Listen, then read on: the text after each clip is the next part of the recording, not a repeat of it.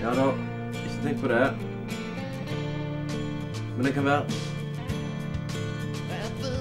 Konge, da.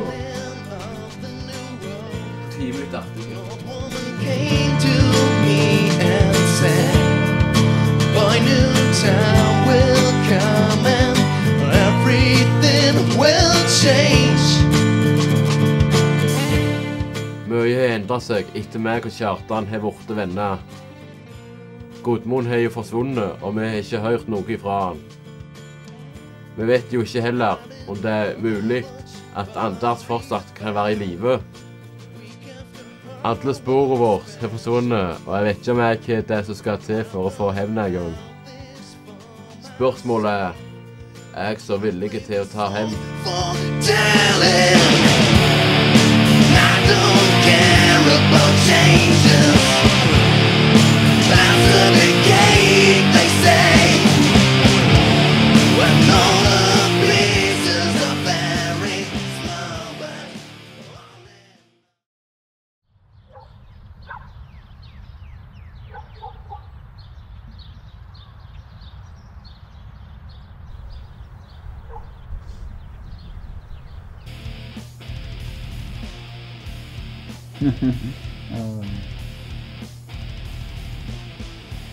Ja, hallo?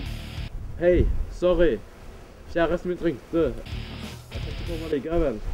Ok, men det går greit.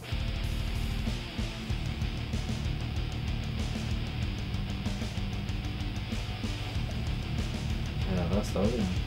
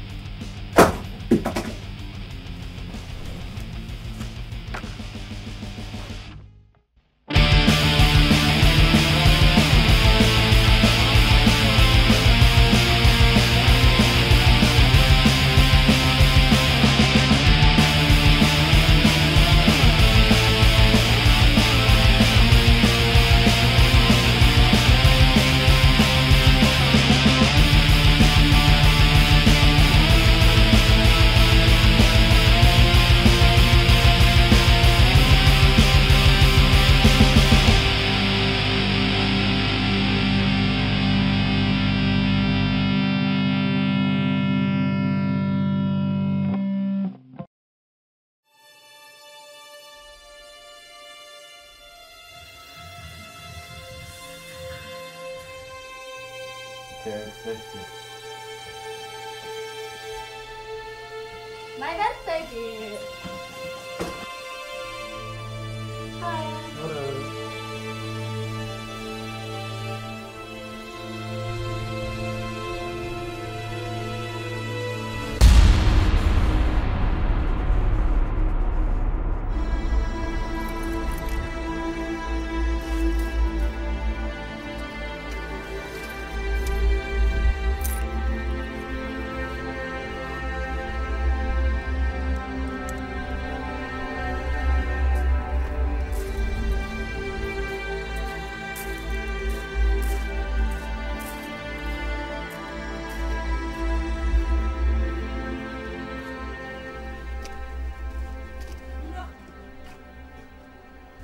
Hva faen garten du gjør her?